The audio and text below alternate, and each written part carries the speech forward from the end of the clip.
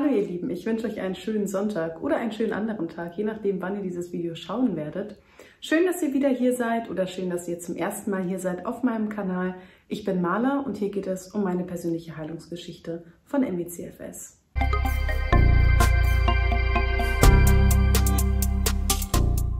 Ihr kennt das sicher auch, diese gut gemeinten Kommentare von Freunden, Familie, dem Umfeld, sowas wie, sei doch nicht immer so negativ, denk einfach positiv, dann wird es dir auch besser gehen. Andere Menschen haben es viel schlimmer als du. Einfach lächeln, lächel doch mal mehr, freu dich doch mal mehr und, und, und.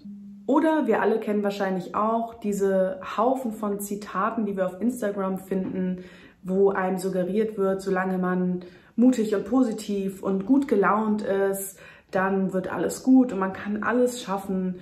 Good Vibes Only. Allein dieser Satz, Good Vibes Only, ich meine, es ist so ein Spruch, der passt maximal vielleicht an die Wand als so ein Wandspruch in einem Café, wo man mal zwei, drei Stunden eine nette Atmosphäre verbringt. Da kann man vielleicht Good Vibes Only sagen. Aber Good Vibes Only im Leben, ganz ehrlich, ist es doch einfach realitätsfern. Das alles zählt zu toxischer Positivität und darüber möchte ich heute mit euch reden. Wie kann denn eine positive Einstellung überhaupt toxisch sein? Wir haben ja jetzt gelernt, dass für die Heilung von MECFS oder auch generell für Heilung von chronischen Krankheiten, wahrscheinlich eigentlich von jeder Krankheit, dass es sehr, sehr wichtig ist, dass man eine positive Einstellung hat, also eine grundlegende, ein grundlegendes positives Mindset, einen Fokus auf die alltäglichen schönen Dinge, eine gewisse Dankbarkeit jeder, der hier auch wie ich auf diesem Heilungsweg von MECFS ist, der wird das mittlerweile mitbekommen haben, dass das tatsächlich die Grundlage ist. Aber Positivität kann eben tatsächlich auch giftig werden. Und ich habe diese Erfahrung gemacht am Anfang, als ich so richtig, richtig krank geworden bin und zum ersten Mal meinen Fokus gerichtet habe auf ähm, Heilung bzw. Genesung von MECFS, mich also zum ersten Mal mit was anderem beschäftigt habe als quasi nur diesen Horror-Stories und rausgekommen bin aus dieser Denkart und Weise, dass das jetzt hier die Endstation meines Lebens ist.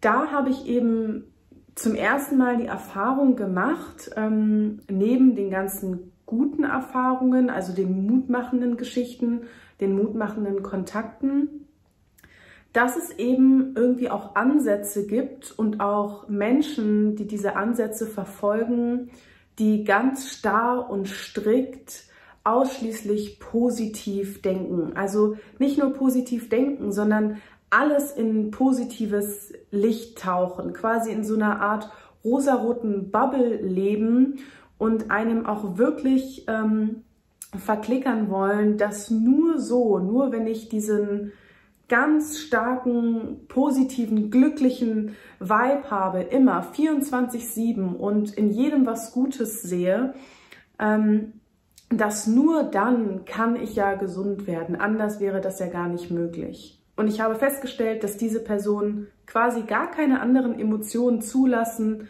außer dass eben alles gut und toll ist und dass alles ja nur eine Entscheidung sei, und wenn ich ganz doll positiv denke, dreht sich sowieso alles zum Guten. Also diese Menschen haben wirklich dieses Good Vibes Only Prinzip. Und das zu sehen, hat mich damals extrem getriggert.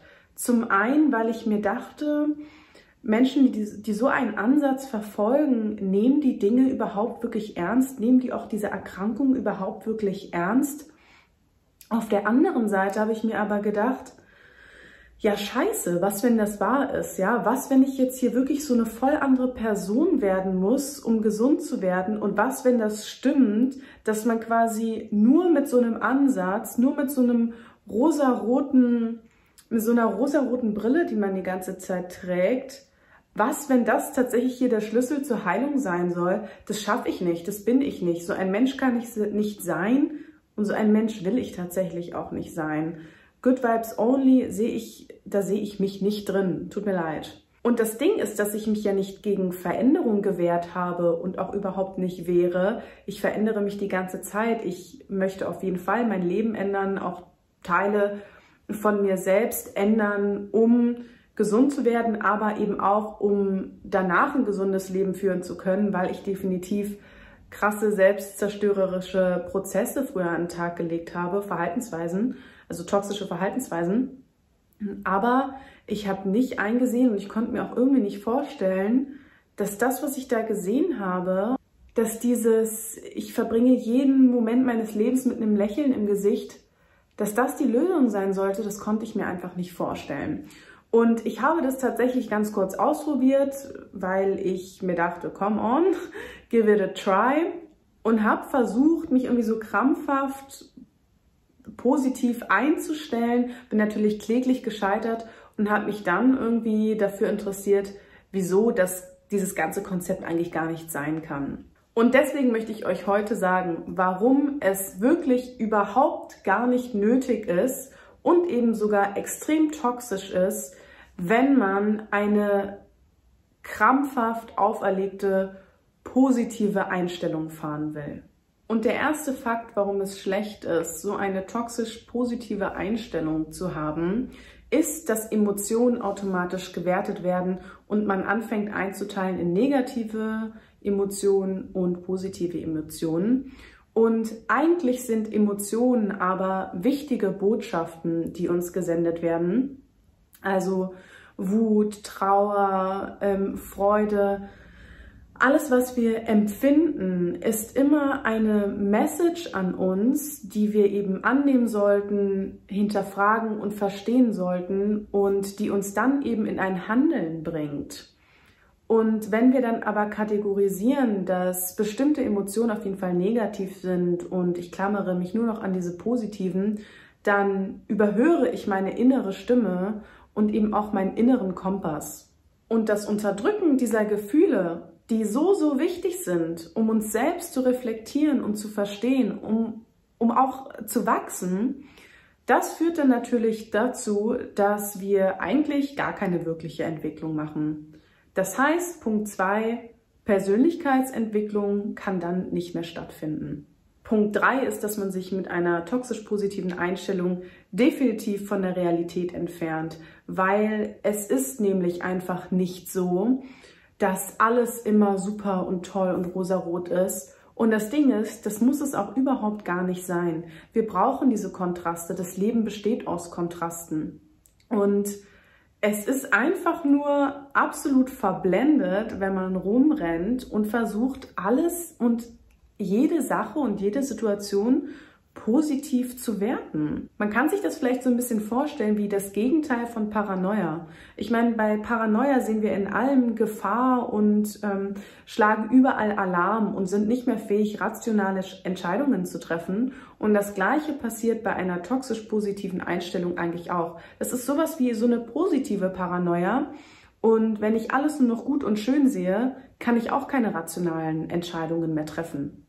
Und da sind wir, finde ich, beim nächsten Punkt, rationale Entscheidungen zu treffen, während man heilt von einer Krankheit und Sachen auch mal aus einer gewissen Objektivität heraus zu betrachten, ist so, so, so, so, so wichtig. Eine Sache wie MICFS ist ja auch so etwas wie eine Krise. Und in Krisensituationen braucht man einen klaren Kopf, genauso wie es da eben schädlich ist, ähm, in diese Gedankenspirale zu verfallen, ähm, von Gedanken, die einen nur runterziehen, man alles schlecht und, und trüb sieht und jammert und keine Hoffnung mehr entwickelt. Genauso schlecht ist es eben, seine Objektivität auch zu verlieren und alles nur positiv und gut zu sehen. Weil auch das wird uns nicht dabei helfen, gute Entscheidungen für unsere Heilung zu treffen. Und zu guter Letzt, seien wir doch mal ehrlich, es kostet doch immens Energie, von der wir sowieso total wenig haben, die ganze Zeit so ein Happy Life, alles ist cool, positiv, glücklich, positiv denken, alles wird gut, das die ganze Zeit aufrechtzuerhalten. So etwas verbraucht und schluckt einfach wertvollen Treibstoff, wertvolle Energie, die wir dringend benötigen und die wir einsparen müssen. man muss sich einfach nicht permanent in den Arsch treten und permanent motivieren und permanent, jetzt musst du aber positiv, jetzt mach mal hier und da. Das ist äh, eine Form von Stress für den Körper und ähm, jeder, der was anderes behauptet, der irgendwie meint, ähm, ja, er kann zu jeder Tages- und Nachtzeit jeden Tag glücklich aufstehen und immer glücklich und fröhlich und positiv sein. Ähm, sorry, kann ich nicht abkaufen und ist meines Erachtens äh, weder gesund, weder natürlich, weder realitätsnah noch irgendwas. Es ist nicht förderlich, es gilt es zu vermeiden. Und ich sage das heute und ich möchte eben darüber sprechen, weil falls ihr sowas bei euch erlebt habt, dass ihr euch dafür kritisiert habt, dass ihr nicht positiv genug seid, dass ihr vielleicht auch so Gedanken hattet wie ich, oh Gott, ich muss jetzt hier alles komplett an mir verändern, ich darf nichts mehr anderes zulassen, außer tolle, gute, glückliche Gedanken, obwohl ich hier gerade durch so eine Krise gehe und obwohl ich die schlimmste Zeit meines Lebens habe. Und ich möchte euch einfach sagen, nein, es ist nicht nötig. Es ist nicht nötig. Ihr dürft euch zurücklehnen. Ihr dürft jede eurer Emotionen spüren. Ihr sollt sie sogar spüren. Ähm, Emotionen zulassen. Ihr sollt sie reflektieren, verstehen und ihr sollt daraus wieder in ein Handeln kommen. Wir sind doch hier, um uns zu entwickeln. Wir sind nicht hier, um ein komischer Partyanimateur unseres eigenen Lebens zu sein. Also bitte.